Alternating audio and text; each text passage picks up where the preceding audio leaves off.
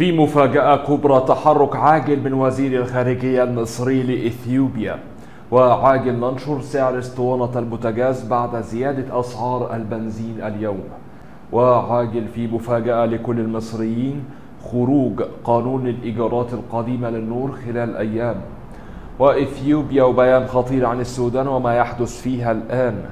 وعاجل حقيقة جفاف المزارع السمكية في مصر بسبب المياه. والرئيس السيسي وأمير قطر وكلام جديد ننشر التفاصيل. في البداية عاوزين نصلي على الحبيب محمد وقبل ما نبدأ في تفاصيل الأخبار اشترك في القناة من زرار الاشتراك الأحمر أسفل الفيديو.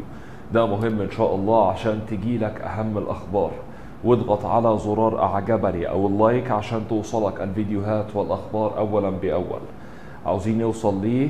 3000 أعجبني أو like على هذا الفيديو. وقبل ما نبدأ في الأخبار اللي بيحب مصر ووطني فعلا يغرق التعليقات بكلمة تحيا مصر. عاوزين نوصل أكتر من ألف تعليق مكتوب فيهم تحيا مصر وانتوا قدها. أول خبر معانا وفي مفاجأة كبرى إن وزير الخارجية المصري اتحرك لأثيوبيا الآن وتوجه وزير الخارجية المصري سامح شكري للعاصمة الإثيوبية أديس أبابا. لتمثيل مصر في اجتماعات الدورة الخامسة والثلاثين لقمة الاتحاد الإفريقي. قال أحمد حافظ المتحدث الرسمي باسم وزارة الخارجية إنه من المقرر أن يلتقي وزير الخارجية على هامش مشاركته في إثيوبيا هناك بعدد من نظرائه الأفارقة وذلك للتباحث حول أوجه التعاون وسبل تعزيز العلاقات الثنائية بجانب تبادل وجهات النظر حول قضايا محل الاهتمام المشترك. وتتناول القمة مختلف القضايا والموضوعات المطروحة على الساحة القارية ومن بينها حالة السلم والأمن في القارة ومواجهة التداعيات الناجمة عن الوباء وظاهرة تغير المناخ والتكامل الاقتصادي والاندماج القاري. المصدر معنا كان من RT أترك لحضراتكم التعليق على هذا الخبر الهام والعاجل. يعني نتفائل إن شاء الله بزيارة أسد الخارجية المصرية الدكتور سامح شكري لإثيوبيا. إن شاء الله يعني نأمل في إن يكون في مستجدات في قضية سد النهضة يعني مع الدكتور سامح شكري. ننتقل مع بعض الخبر آخر وعاجل. ننشر سعر اسطوانة البوتاجاز بعد زيادة أسعار البنزين اليوم.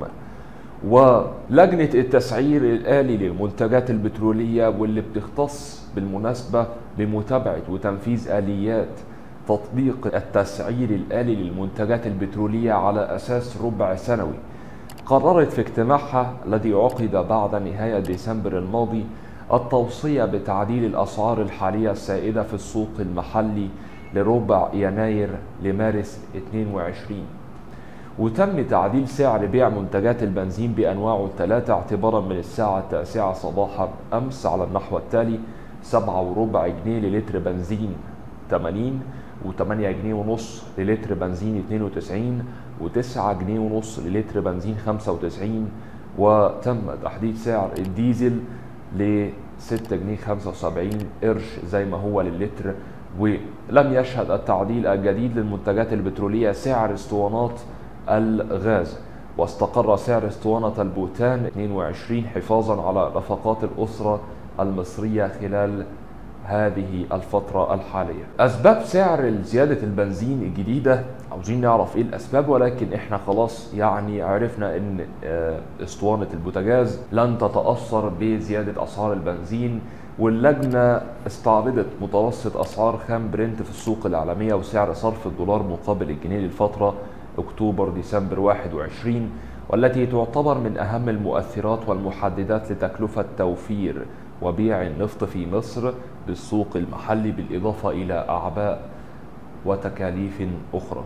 المصدر معنا كان من صحيفة الشرقية توداي وأترك لحضراتكم التعليق على هذا الخبر. كده يعني إحنا عرفنا إن مفيش أي تحريك لسعر أسطوانة البوتاجاز. وننتقل مع بعض على طول وفي مفاجأة لكل المصريين خروج قانون الإيجارات القديمة للنور خلال أيام وفي عزة وكيل لجنة الإدارة المحلية بمجلس النواب قال إن تعاون الحكومة مع النواب لفتح ملف الإيجار القديم يعيد التوازن مرة أخرى بين المالك والمستأجر فتعتبر خطوة إيجابية لتصحيح الأوضاع وتوفيقها. وأكد عزت أن اللجنة سوف تقوم بجهود كبيرة مع الحكومة من أجل الخروج بتشريع قادر على إنصاف المواطن المصري الاستماع إلى جميع الأطراف من ملاك ومستأجرين مما يجعل اللجنة قادرة على اتخاذ خطوات جادة ترضي جميع الأطراف. النائب أشار أن الحكومة سوف تقدم تشريع جديد للنواب للنظر فيه أكد أن من أبرز الحلول التي سوف تناقش حول العقد القديم تحويل العقد القديم لعقد جديد بمعنى أن يكون هناك فترة انتقالية وليست دائمة له. وقت مدة محددة يلزم كل من المالك والمستأجر لفت النائب إلى أنه إلى الآن لا توجد إحصائية كاملة بعدد العقارات المستأجرة قائلا. عقود الإيجار القديمة بها ظلم بين على المالك. وحين تم تطبيق القانون كانت البلاد تشهد ظروف استثنائية ولكن الآن مصر تشهد تطورات مع بداية جمهورية جديدة. لا يصح أن يكون إيجار العقارات إيجارها 100 جنيه والوحدة الواحدة 5 جنيه فقط. المصدر معانا كان من صحيفة الموجز المصرية وفعلا يعني من وجهة نظري أنا شايف إن في ظلم كبير لما يعني شقة يكون ثمنها مليون جنيه ولا 2 مليون جنيه والمستأجر يعني يدفع إيجار 5 جنيه في الشهر. فده طبعا شيء يعني مهين جدا وظالم لل للمؤجر. ولكن يعني عاوزين نقول أن العقد شريعة المتعاقدين وما ينفعش يعني إحنا اتفقنا وتم اثباته في ورقه وأنا معايا نسخة وحضرتك معاك نسخة فما ينفعش يعني نرجع نزعل. ولكن يعني فعلا كما قال النائب يعني الأمور الآن أفضل في الجمهورية الجديدة. مصر كانت من خمسين سنة ولا من أربعين سنة كانت بتمر بظروف استثنائية فموضوع قانون الإيجار القديم ده آه للأسف آه يعني ظالم إلى حد ما. دي من وجهة نظري الشخصية. ممكن يكون يعني حضراتكم في من حضراتكم متفق معايا ومختلف معايا ولكن يعني خلينا ننظر لهذا الأمر من منظور يعني آه عادل. وأترك لكم التعليق. ننتقل مع بعض الخبر آخر معانا وإثيوبيا. بتطلق بيان حول ما يحدث في السودان الآن وعاوزين نعرف إيه علاقة إثيوبيا بما يحدث في السودان الآن وإيه علاقتها ليه بتتدخل أصلا؟ قال المتحدث باسم وزارة الخارجية الإثيوبية دينا مفتي أن المجلس العسكري السوداني اجتاح الأراضي الإثيوبية ولم يعمل وفق مصالح الشعب السوداني. أوضح في تصريحات لصحيفة أرتي أن أثيوبيا لديها آليات للتعامل مع السودان بخصوص الخلاف الحدودي بشكل سلمي. أكد أن زيارة نائب رئيس مجلس السيادة السوداني محمد حمدان دقلو إلى إثيوبيا في يناير علامة جيدة على حسن النوايا. وبخصوص ملف سد النهضة أشار مفتي إلى أن هذه المسألة ليست على جدول أعمال القمة الإفريقية السابعة والثلاثين في أديس أبابا. أضاف أن إثيوبيا ملتزمة بالمحادثات حول السد لكن لا نعرف إذا كان السودان قادر حاليا على التفاوض. يعني إذا هي دي حجتهم في الوقت الحالي. اللي هو يعني السودان غير مستقر فهنتفاوض ليه؟ نتفاوض مع مين؟ مين في السودان يكلمني؟ مفيش حد في السودان يكلمني إذا مش هتفاوض. هذه وجهة نظر إثيوبيا. بشأن العلاقات مع الكيان الصهيوني قال مفتي أن أديس أبابا لديها علاقات طيبة مع الكيان الصهيوني ومع الفلسطينيين ونحاول بناء صداقة مع كلا الطرفين. أضاف أنه لم يتم النقاش حتى الآن حول حضور الكيان الصهيوني القمة الإفريقية. وعن الشأن الأمني أكد مفتي أن غالبية الأراضي الإثيوبية آمنة وأنه لا علاقة بالأعمال التي تقام بالقمة الإفريقية وهي بعيدة أصلا. المصدر معنا كان من أرتي أترك لحضراتكم التعليق على هذا الخبر الهام. إذا يعني إثيوبيا الآن تتحدث إن المجلس العسكري السوداني يعني يعمل ضد مصلحة شعبه. ويتحدث أيضا أن ليس هناك من أتكلم معه بخصوص سد النهضة في السودان. وهذا الأمر يعني مقلق بعض الشيء ولكن يعني إحنا نأمل إن إن شاء الله ربنا ييسر الأمور ويحل هذا الموضوع على خير بإذن الله. ننتقل مع بعض الخبر آخر وعاجل حقيقة جفاف المزارع السمكية في مصر بسبب المياه. ورد الخبير الجيولوجي عباس شراقي على مزاعم جفاف المزارع السمكية في مصر بسبب المياه. وضح قد نرى جفاف بعض الأحواض بفصل الشتاء خاصة التي تحتاج مياه عذبة من النيل للمحافظة على المياه. وقال الخبير الجيولوجي المصري عباس شراقي في تصريح ل RT تقع مزارع غليون للاستزراع السمكي على نهاية فرع رشيد مع البحر المتوسط. وتم افتتاح المرحلة الأولى في 18 نوفمبر 2017 لبركة غليون كمدينة سمكية متكاملة شملت مزرعة سمكية لأعلى جودة من بعض الأنواع السمكية. بعضها للتصدير. على مساحة 4000 فدان تضم 1359 حوض.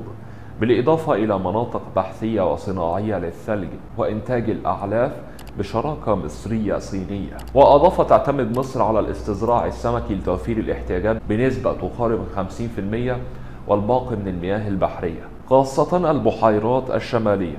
وكذلك بحيرة ناصر وقد تضاعف حجم الإنتاج خلال السنوات الأخيرة بعد تطهير بحيرة المنزلة ومريوط ليصل إلى أكثر من 2.2 مليون طن سنويا. وأشار إلى أن صناعة الاستزراع السمكي تعتبر موسمية. وطبقا لأستاذنا الجليل الدكتور مجدي محمد علي أستاذ البيئة المائية وعميد كلية المصايد والأسماك ونائب رئيس جامعة أسوان السابق أن أنسب وقت للحصول على أعلى إنتاج هو من مارس حتى أكتوبر. بعده يضعف الإنتاج. ولهذا قد نرى جفاف بعض الأحواض في فصل الشتاء خاصة التي تحتاج مياه عذبة من النيل للمحافظة على المياه. ولكن يعود النشاط الكامل مرة أخرى ابتداء من مارس حيث لا يمكن تربية الجمبري إلا في فصل الصيف فقط.